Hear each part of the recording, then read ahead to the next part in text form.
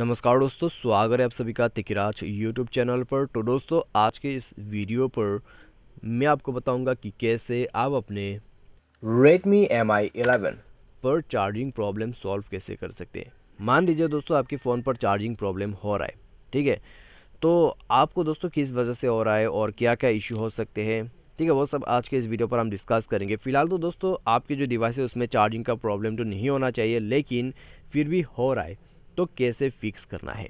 ठीक है, क्योंकि दोस्तों, आपका जो डिवाइस है, उसमें आपको मिल जाते हैं टाइप सी का चार्जर ठीक है तो उसमें इतना ज़्यादा प्रॉब्लम्स तो नहीं होना चाहिए। लेकिन दोस्तों कभी कभी क्या करें? लक के ऊपर में भी है चार्जिंग का इशू हो जाते हैं यहाँ पे तो आपको क्या क्या चीज़ें ध्यान पे रखना है, वो एक बार इस वीडियो को देख के जान लीजिएगा और क्या क्या सॉल्यूशन करना होगा।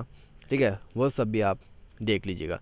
तो दोस्तों, वीडियो शुरू करने से पहले चैनल को सब्सक्राइब नहीं किया है तो सब्सक्राइब करके बेल आइकॉन को क्लिक करें। यदि आप ऑनलाइन पैसा कमाना चाहते हैं तो वीडियो डिस्क्रिप्शन पर आपको लिंक मिल जाएगा। और किसी भी प्रॉब्लम के रिगार्डिंग पर आप हमें ट्विटर पर फॉलो करके मैसेज कर सकते हैं। तो चलिए दोस्तों, आज के इस वीडियो को शुरू करते हैं। दोस्तों, सबसे पहले तो आपको करना क्या होगा? यदि चार्जिंग का इशू है तो दोस्तों आप यहाँ पर एक बार डिवाइस को रिस्टार्ट करके चेक कर सकते हैं। या फिर डिवाइस को स्विच ऑफ़ करके चेक कर सकते हैं। ठीक है, डिवाइस रिस्टार्ट करने से भी दोस्तों कभी कभी इस तरह का जो इशू होते हैं, वो आपने अभी फिक्स हो जाते हैं। या तो फिर आपके घर के जो वोल्ट है, वो काफ़ी ज़्यादा ख़राब हो सकते हैं, या तो फिर वोल्ट लो वोल्टेज की वजह से भी हो सकते हैं चार्जिंग का इशू ठीक है, मान लीजिए आपके घर का जो वोल्टेज वो काफ़ी ज़्यादा लो है। ठीक है, कुछ वक्त के लिए तो आप उस वक्त जाके उस लो वोल्ट पे जाके चार्ज करते रहते, करते थे अपने फ़ोन को।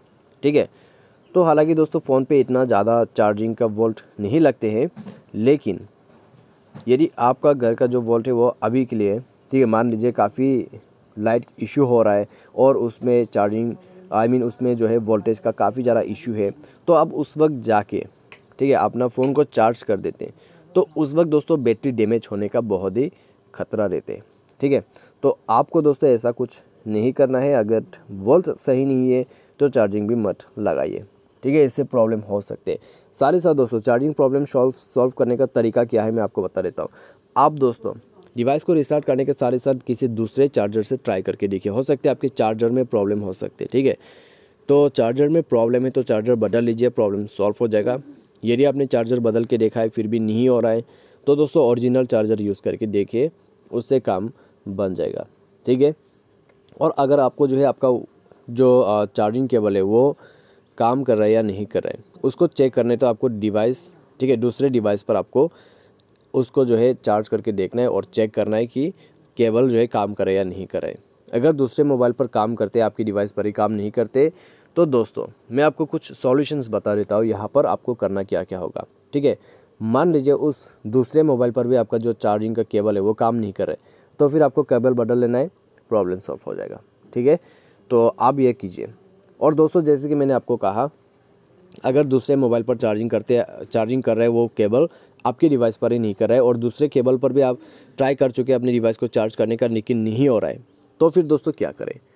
तो दोस्तों, यहाँ पर आप डिवाइस पे, ठीक है, चेक कीजिए, कोई ऐसा बेड एप्लीकेशन आपने इंस्टॉल तो नहीं किया है। अगर बेड एप्लीकेशन इंस्टॉल करते तो आपका पूरा जो डिवाइस है, वो ख़राब कर सकते हैं, ठीक है?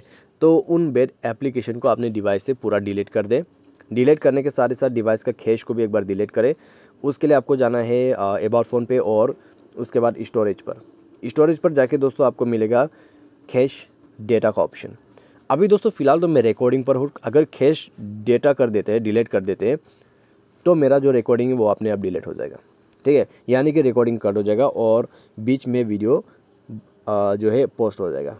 ठीक है? तो उसकी वजह से दोस्तों, यहाँ पर अभी क्लियर कैश हम नहीं कर सकते। तो आपको दोस्तों करना है, ठीक है? कैश को क्लियर करना है। उसके बाद आपको करना क्या है? आप कैश क्लियर करने के सारे साथ दोस्तों ट्राई करके देखिए, ठीक है? आपका जो प्रॉब्लम है वो सॉल्व हो रहा है, नहीं हो रहा है। सारे साथ दोस्तों, आप यहाँ पर सॉफ्टवेयर को भी अपडेट करके देखिए। तो दोस्तों, यहाँ पर आपका जो डिवाइस सॉफ्टवेयर है, ठीक है? अपडेट पर क्लिक करें और अपना सॉफ्टवेयर को भी अपडेट करें। अगर सॉफ्टवेयर में कोई भी इशू है, सॉफ्टवेयर क्रैश का प्रॉब्लम है तो अपडेट करते ही आपका जो प्रॉब्लम है वो सॉल्व हो जाएगा। ठीक है? तो आप ये भी कर सकते हैं। और दोस्तों, ये सब करने के बाद भी, ठीक है, आपका सॉल्व नहीं हो रहा है चार्जिंग का इशू। यहाँ पर दो ऑप्शन लास्ट आपके लिए बचा है। एक है आप टेक्नीशियन के पास जाके फिक्स करवा सकते हैं प्रॉब्लम, और दूसरा, मोबाइल को आप फैक्ट्री रीसेट करके भी देख सकते हैं। ठीक है? तो फैक्ट्री रीसेट का दोस्तों, मैं यहाँ पर आपको कॉन्फर्मेशन तो बता नहीं सकता हूँ। लेकिन दोस्तों यहाँ पर प्रूफ हुआ है ठीक है? काफ़ी सारे लोगों का आ, जो चार्जिंग का इशू रहते हैं वो लोग क्या करते हैं? फैक्ट्री रीसेट कर देते तो उसके बाद अपने आप प्रॉब्लम सॉल्व हो जाते सॉफ्टवेयर को भी अपडेट रखते हैं ताकि कोई इशू ना हो ठीक है? तो इतना सॉल्यूशन करने के बाद ये फिक्स हो जाते हैं। मान लीजिए यहाँ पर आपके जो चार्जिंग पिन है उसमें ही खराबी है। फ़ोन के जो चार्जिंग पिन है मैं उसके बारे में बात कर रहा हूँ। यदि उसमें ही खराबी है तो दोस्तों वो आपको टेक्नीशियन के पास जाके फिक्स करवाना होगा ठीक है?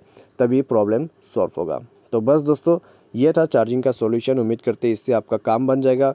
और इसके रिलेटेड आपको कोई भी प्रॉब्लम कोई भी चीज़ पूछना है तो कमेंट सेक्शन पर सब कुछ आप बता सकते हैं। तो आज के इस वीडियो पर से बस इतना ही। Thanks for watching